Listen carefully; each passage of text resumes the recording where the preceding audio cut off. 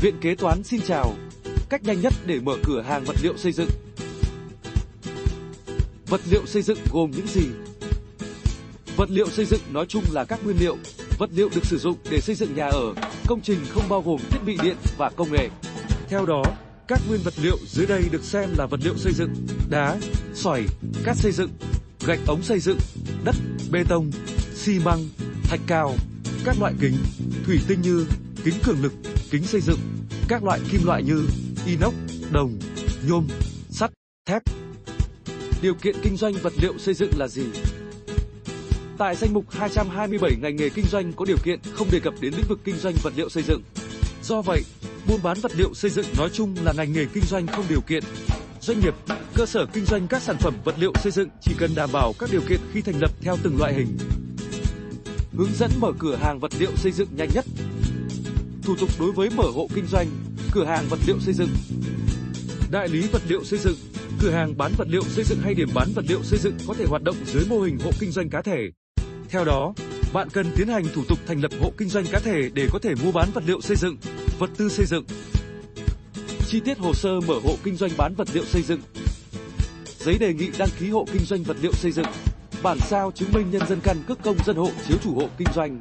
Bản sao các chứng chỉ hành nghề nếu có. Hợp đồng thuê nhà, mượn nhà hoặc các giấy tờ chứng minh quyền sử dụng đất. Văn bản ủy quyền cho người đại diện nộp hồ sơ thành lập hộ kinh doanh. Trường hợp hộ kinh doanh có phần vốn góp của các thành viên thì bổ sung. Biên bản họp của thành viên hộ gia đình về việc thành lập hộ kinh doanh cá thể. Văn bản ủy quyền cho một thành viên làm chủ hộ kinh doanh của các thành viên hộ gia đình. Bản sao chứng minh nhân dân căn cước công dân hộ chiếu của các thành viên hộ gia đình. Bạn nộp hồ sơ mở cửa hàng vật liệu xây dựng theo các cách dưới đây. Nộp trực tiếp tại phòng tài chính, kế hoạch cấp quận huyện, nơi đặt cửa hàng kinh doanh. Nộp qua mạng tại trang dịch vụ công của từng tỉnh thành. Thủ tục đối với mở công ty kinh doanh vật liệu xây dựng. Nếu bạn dự định kinh doanh vật liệu xây dựng với quy mô lớn thì nên làm thủ tục đăng ký thành lập doanh nghiệp. Tùy vào số lượng thành viên tham gia góp vốn cũng như định hướng hoạt động mà bạn chọn loại hình, công ty cổ phần, công ty trách nhiệm hữu hạn một thành viên, công ty trách nhiệm hữu hạn hai thành viên trở lên.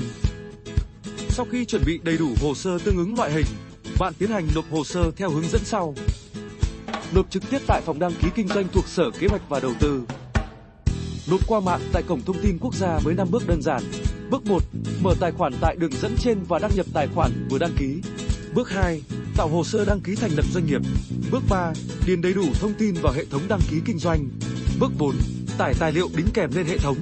Bước 5, ký xác thực và gửi hồ sơ. Nộp qua bưu điện Việt Nam, VNPost. Cảm ơn bạn đã theo dõi chủ đề ngày hôm nay. Hãy nhấn like và subscribe ngay hôm nay để không bị bỏ lỡ những bí quyết về tài chính, kế toán bạn nhé. Còn bây giờ xin chào và hẹn gặp lại.